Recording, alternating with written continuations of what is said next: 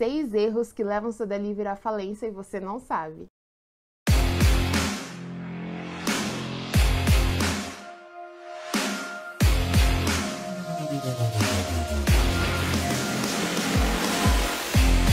Oi, gente, eu sou a Tá Oliveira e hoje eu vou falar para vocês seis erros que levam seu delivery à falência e talvez você não sabe.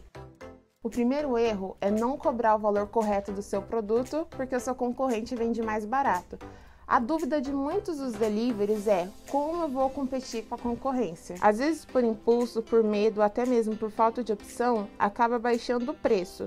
Isso até faz com que os seus clientes comprem mais com você, mas seus produtos acabam se desvalorizando. Sua margem de lucro começa a se apoiar na concorrência e não na sua estratégia, e você se torna refém desse processo. Então, entrar nessa de quem vende mais barato não é uma boa opção. O segundo erro é deixar o cliente aguardando para ser atendido.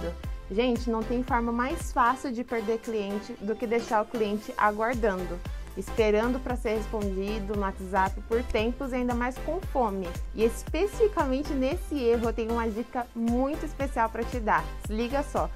Você que ainda está no trabalho manual, recebe muito atendimento pelo telefone, o WhatsApp bombando em dias de alto pico, ou tem que pagar altas taxas para aplicativos de marketplace, eu tenho uma dica para você que é o aplicativo próprio exclusivo da sua marca, que te oferece programa de fidelidade, cupom de desconto, pagamento online, impressão automática e muitos outros benefícios estratégicos para o seu delivery que vão aumentar suas vendas, automatizar seu atendimento e te trazer muitos benefícios com seus clientes. Você que tem interesse em uma demonstração, conhecer nosso aplicativo, eu vou deixar o link aqui na bio. O terceiro erro é não usar produtos de qualidade. O seu produto, a experiência dele, a primeira impressão é o que gera conexão com o seu cliente. Então, se não tiver qualidade, não só no produto, mas na entrega, no atendimento, o cliente não vai voltar. A qualidade do produto é que faz o cliente falar, e mesmo que tenha um delivery mais barato, mais perto, que não cobra taxa de entrega, esse daqui tem um sabor, uma qualidade impecável. Ou seja, a qualidade é o que vai te diferenciar dos demais.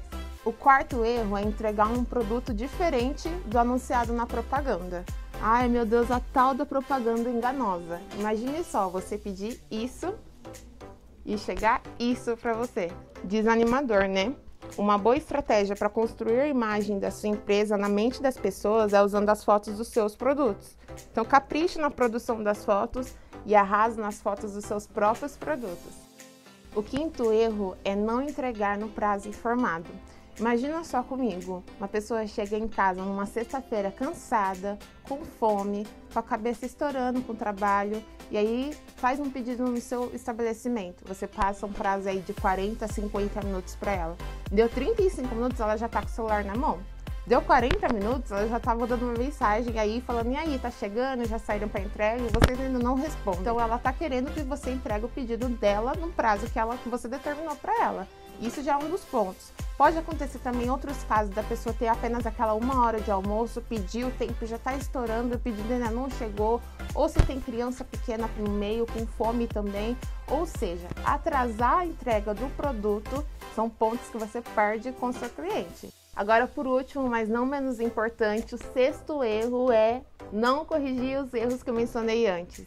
Então, se você ficou até aqui, ouviu todas essas dicas e não colocar em prática, vai afetar muito o seu delivery. Então, já reúna a sua equipe, aplica essas dicas que eu dei para vocês e tenha muito sucesso no delivery, tá bom? Espero que vocês tenham gostado e até a próxima. Tchau, tchau!